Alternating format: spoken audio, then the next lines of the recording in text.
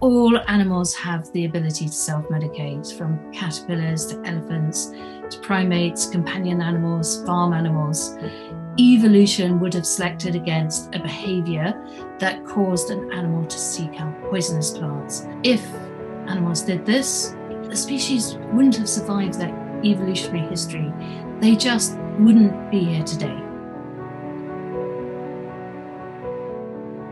And yet there was no sign that these dogs had any infection. You know, they would eat their food, their stools were healthy. You, know, you wouldn't think of offering these remedies that don't affect the mind to these dogs with these intense, um, anxious behaviors. And then the light bulb moment was realizing that they were selecting these remedies possibly to help restore the microbiome. What happens is when the animal selects garlic or clove, it works in a couple of ways. So, garlic and clove stimulate the production of natural killer cells and T helper cells. So, this is what happens. They primarily seek out cancer cells, but they also seek out viruses and they seek out bacteria. And they would chase it down. And once they get to the bacteria, they inject it with a toxin to destroy it.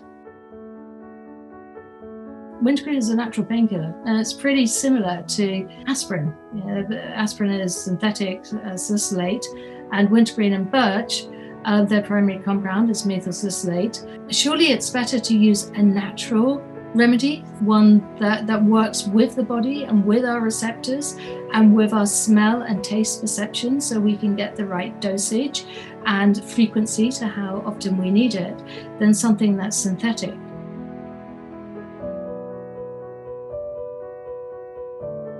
The next part of my self medication journey took me to Africa where I worked with little Shimba.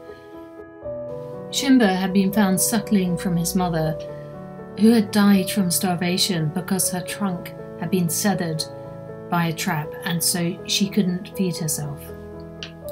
When I met Shimba, he had been at the trust for a couple of months, but he was a reclusive little chap. He kept himself to himself and he didn't really seem to join in with the herd or bond to people.